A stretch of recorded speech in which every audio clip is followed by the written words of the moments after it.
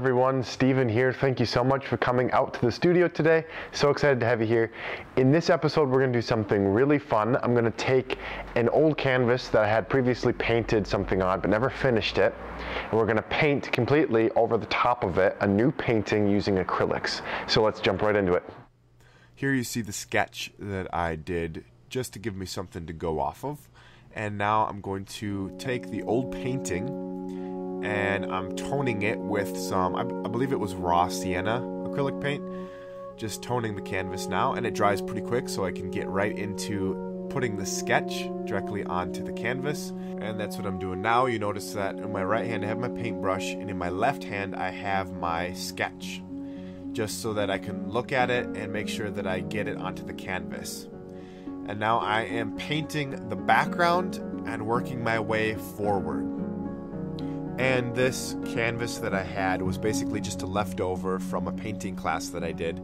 I got uh, to use it as a little bit of an example for some of my students, but I never finished it and I had it lying around the studio, so I just decided I don't want to waste this, I want to paint over it. And that's what inspired this video, is just to show that if you have paintings just lying around that are unfinished um, and you don't know what to do with them, you can definitely paint over the top of them can see I'm putting in the uh, next hill, which is going to be a lot darker.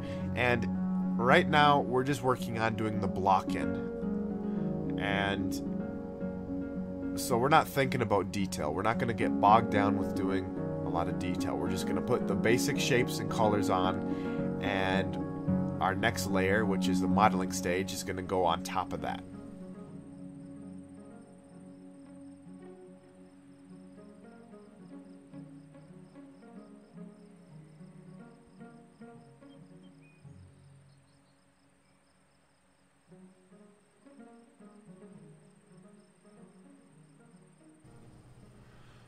And these are the two brushes that I used to complete the block in. There you can see the block in. And we're moving on to the modeling stage now.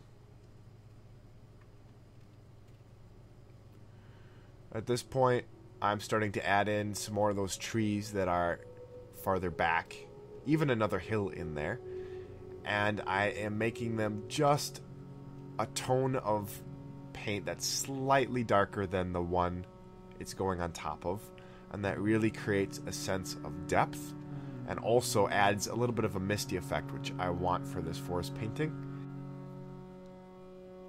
And we're just going to go ahead and start the modeling, which basically just includes a little bit more shaping and shading and highlighting and a little bit more adding of detail to inform the next and final stage, which is the detail stage, which which when we do that near the end will just really bring everything together.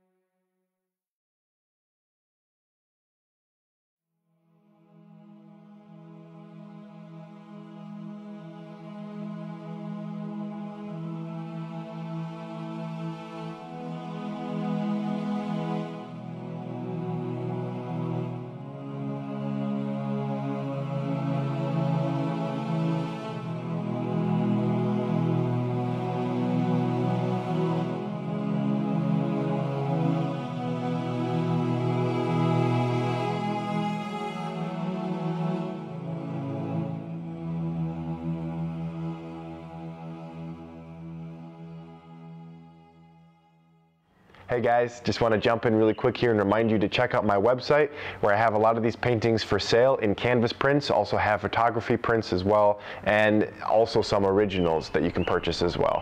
So be sure to check it out. It is windowstoheavenart.etsy.com. Again, that's windowstoheavenart.etsy.com. Enjoy the rest of the painting.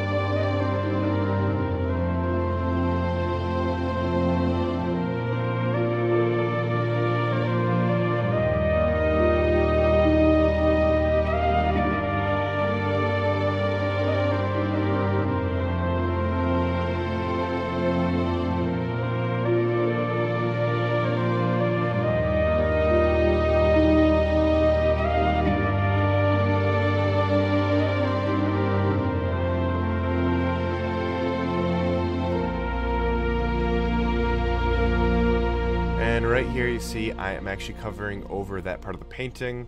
I just didn't like it, so I put some dark green paint over the top of it to blend it into the background. And this is the finished modeling stage. So now we're moving into the detail stage, which is when the painting covers a lot of ground really quick. And you can see I'm using that shadowy part of the painting to overlay bright highlighted branches where you can imagine direct sunlight is hitting it just to create a nice contrast. And I'm helping that look by putting in some sun rays as well that are filtering through. That's really easy to do. It's kind of like putting mist on by dry brushing but you just put it in beams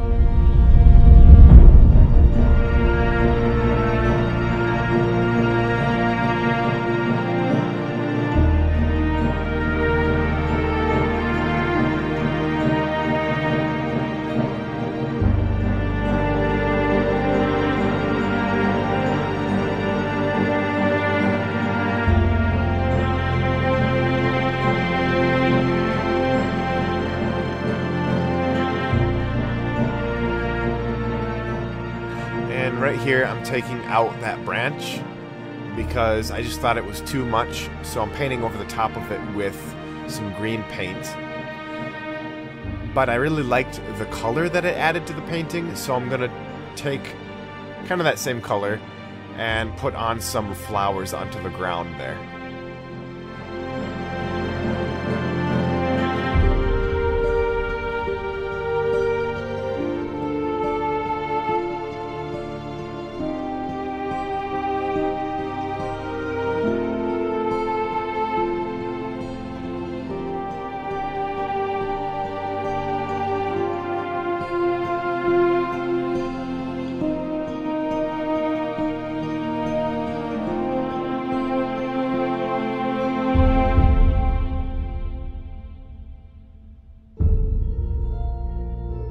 Done with the painting, I think I can truly say that the biggest thing that I learned is to really plan it out a little bit more before you jump right into it. That would, I've said this before, it saves a lot of time when you do that because you notice with this painting I did a lot of changes last minute.